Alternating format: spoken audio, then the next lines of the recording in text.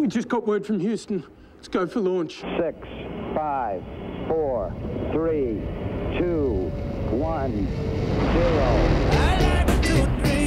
Astronaut Neil Armstrong lands on the moon. People all over the world will be watching television pictures provided by the receiving dish in the town of Parkes. So what's this all about? We've got the moonwalk. Hey? The moonwalk. Why'd they pick us? Turns out it's the largest radio telescope in the southern hemisphere. What's it doing in the middle of a sheep paddock? Which town is part of the Apollo 11 mission? Parkes. The people at this place, they know what they're doing?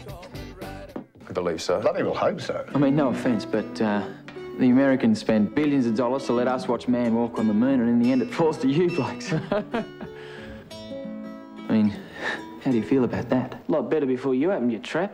In a few days' time, we'll be watching television pictures from the surface of the moon. Slap bang in the middle of it. I must stress these are not to scale. Imagine the Earth is basketball. This'll be good. And I get it. How do you reckon they go to the... up there? Yes, this is Al Burnett from NASA. Al's here to make sure that all the signals get back to mission control. This was always your dish. You were always the boss. You'd never let anyone else come in and run the place. I'm afraid we're going to have to get back to work. You treat us like a pack of galahs. that's a kind of parrot. Have you thought about what's being attempted here? Of course I have. This is science's chance to be daring. It will be one of the proudest moments in Australia's history. I think the computer's wiped. Are we stuffed? Yeah, we're stuffed. Let me get this straight. Southern Hemisphere's prime receiving station has no idea where Apollo 11 is. Yeah, it's on its way to the moon. What if you come clean? Just tell NASA. That we lost Apollo 11. I wouldn't say that first. How they going out there?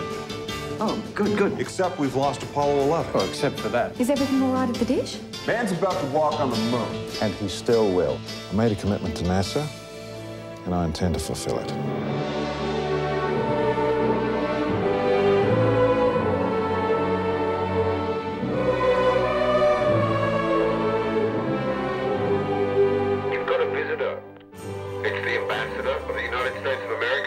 God. Space Nut knows everything about Apollo 11.